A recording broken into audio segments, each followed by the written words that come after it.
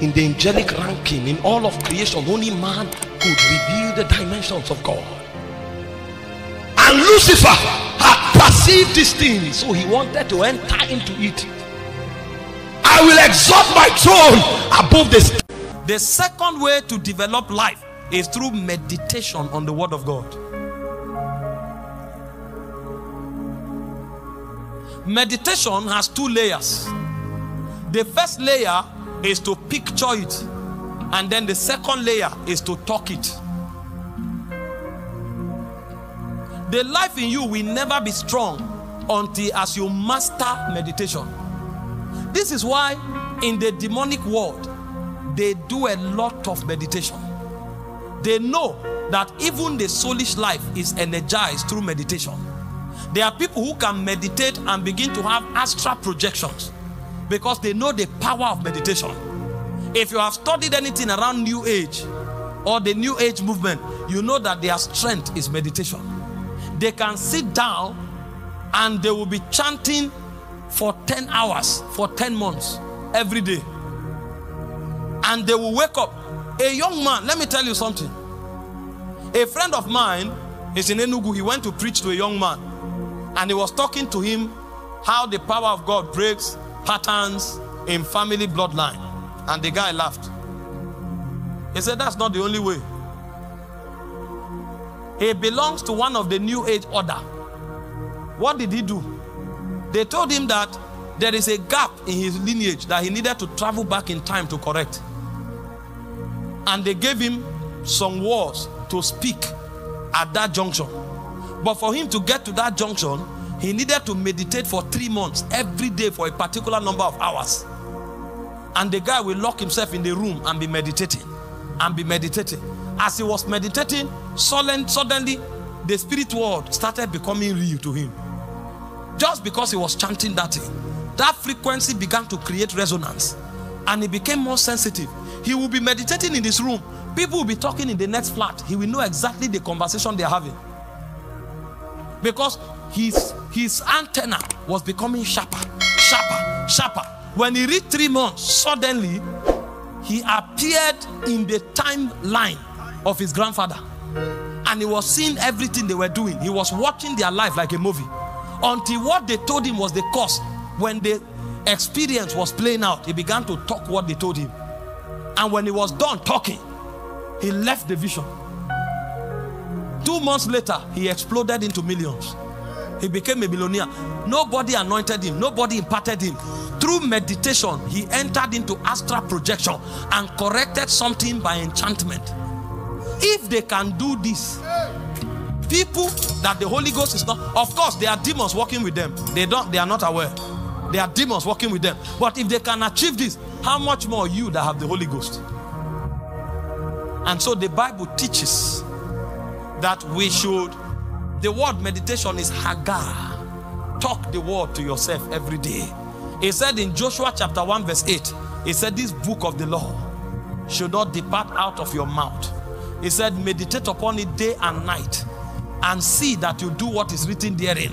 He said, Then you shall make your way prosperous and you shall have good success. I tell people, Christianity is not mystical, but it must be practiced. Many believers are not practicing. The difference between we Christians and people in the demonic world is practice. If a demon is supposed to meditate on a book for one year, five hours every day, he won't miss once. Once he won't miss. But tell a Christian, read one verse of the Bible every day for one month. When it's one month, he has missed 10 times. And then when there is a challenge, he stands and he begins to quote what he heard his pastor say. Because he was taught religion that if you say it loud, or if you say it fast, or if you say it walking in a certain way, it will work. All of that is religious garbage. Whether you sit and say it, stand and say it, if you have the power, it will answer. And if you don't have the power, if you like, say it like your pastor, dress like him, walk like him, shout like him, you will not get the result because the spirits hearing you, they are aware who has the reality. When you talk it to yourself, after a while, it will become pictures in your heart. That's why I said in Second Corinthians 3:18, He said, We all with open faces, beholding as in a glass the glory of the Lord. He said, We are changed. When you are talking it and you start seeing it, you start becoming it. So you can be as bright as God if you will meditate enough to see it the way it is. Because your transformation is a function of your meditation and contemplation. It's not a function of your department in church. It's not a function of your position in church. There are many choir directors that have impregnated people. So, choir director is not spirituality. There are many prophets and apostles that are fraudsters, swindlers, fornicators, and liars. A title is not what makes you strong in life. It is meditation and contemplation that makes you strong. Because if you don't see it, you will not become it. And the gateway to seeing and becoming is meditation. When you want to grow in this thing, you will pack scriptures with you every day.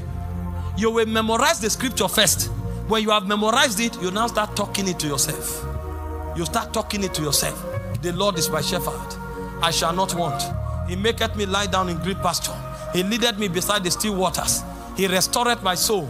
Though I walk through the valley of the shadow of death, I fear no evil, for thou art with me. Thy rod and thy staff, they comfort me. Thou preparest a table before me in the presence of my enemies. Thou anointest my head with oil. My cup runneth over. Surely goodness and mercy shall follow me all the days of my life. I shall fear no evil. See, as you are talking it, a point will come, what you are saying will start being animated to you.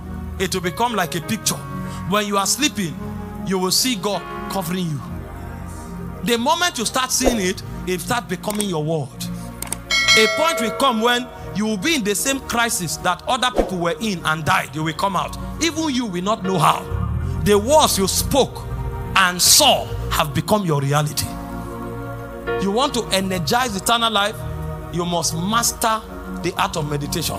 We talk what the word have put in our mouth. How do you think people become masturbators? There's no teacher anywhere teaching people how to masturbate. How do you think people become so bound to immorality? The world understands it. Buy a razor blade, you will see a naked person there. Buy a beak, you will see a naked person. Buy singlet, you will see a naked person. They push nudity to society to a point where anything you look at, you'll see nudity. Even your notepad in your phone that is meant for you to take note, you will click it, suddenly you see a woman with her chest open. And you are wondering, what does the chest of a woman have to do with my notepad? They are bombarding pictures to you because they know if you see it, the power to process it will be activated. So, what they are doing is an impartation. Impartation is not only when hands are laid, there are certain impartations that are activated through sight. Look at naked picture for a while. You will be shocked the kind of creativity around immorality that will awaken in your spirit. And you will find yourself fornicating helplessly. You will be crying and say, God help me. What you need is not God help me. Change your diet. Even if it is caused by a demon, cast out that demon. So long as that person is still watching that thing, he will still go back. But if you want to live above it, start seeing something different. Go to the internet, go and download healing videos. Watch it for one month and see what will happen to you. You are not praying, you know, just be watching the healing videos. Be watching it, be watching it two hours every day. After one month, you'll be shocked. Somebody say it's deaf, you say open, the ear will open. You will ask yourself, when was that anointed to open deaf ears? You have become it. Somebody will tell you he cannot walk. Even before you think, you say, Get up. You will not even know when you told the person to get up. And the moment you speak, the power that you have incubated yourself with will be poured on that person.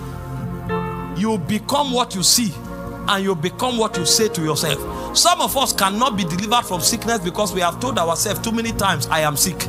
Some people will even tell you, This my headache, this my cancer, this my high blood pressure. If you possess it, who will take it from you? Nobody. Are you following?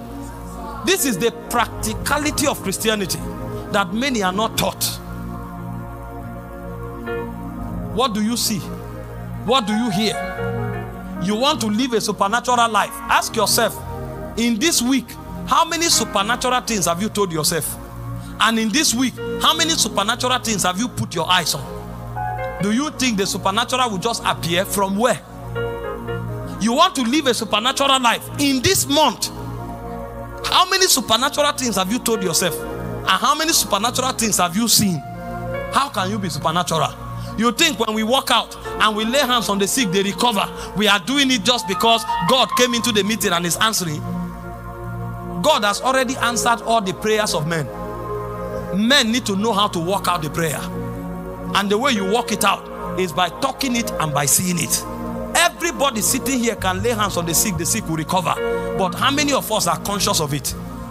Ephesians 4 24. It said, Put on the new man, which after Christ is renewed in righteousness and true holiness. If you have not put on that consciousness, you can never see that manifestation. We pray for laying on of hands so much until we have idolized it, yet we have not seen the manifestation. There's nothing wrong with it, but if your consciousness is wrong, your manifestation will be wrong. You cannot produce something that is different from your consciousness. The goal of meditation is to alter your consciousness because your consciousness is the frequency that bets your manifestation. How many of you know that prayer activates the supernatural? How many of us know? And so, what you need now is not another teaching. Go and pray. Are you following? Let's read Second Corinthians 5 from verse 1 to 3. Let me show you what Paul said.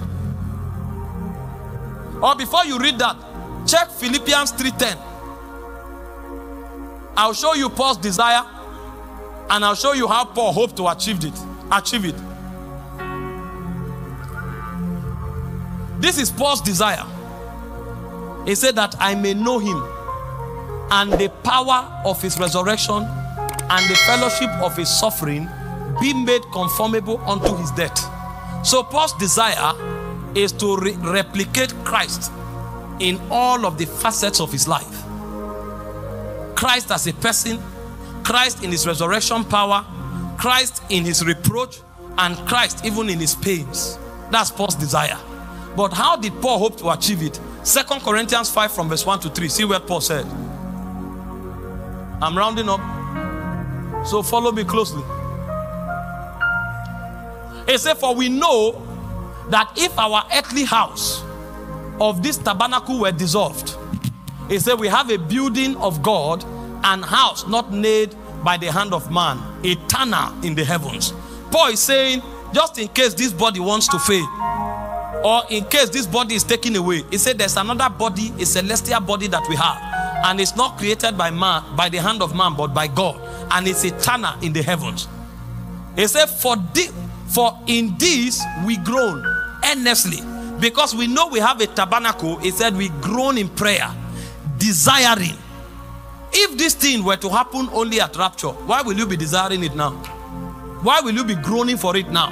Because Paul knows that if we pray, it can happen now. He says, So we desire to be clothed upon with our house, which is from heaven.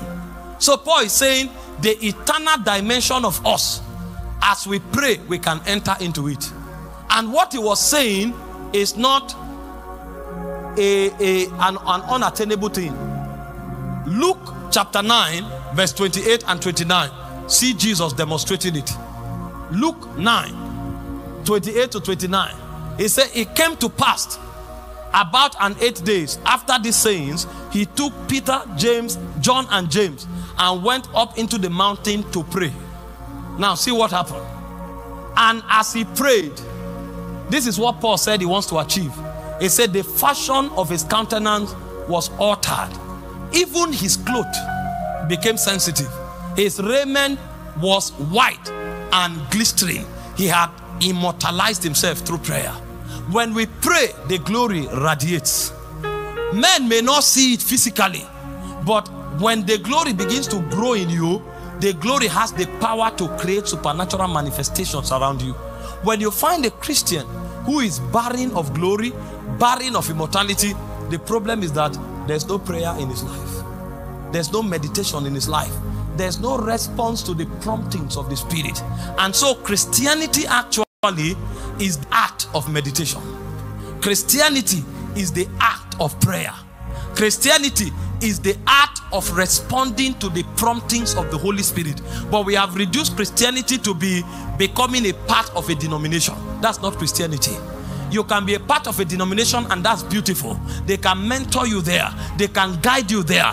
But the organic aspect of Christianity is that you must make a practice of responding to the promptings of your spirit. You must make a practice of meditating on the word of God, and you must make a practice of prayer.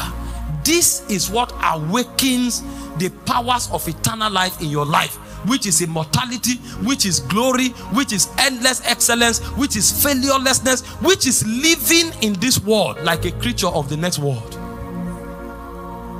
Are you following?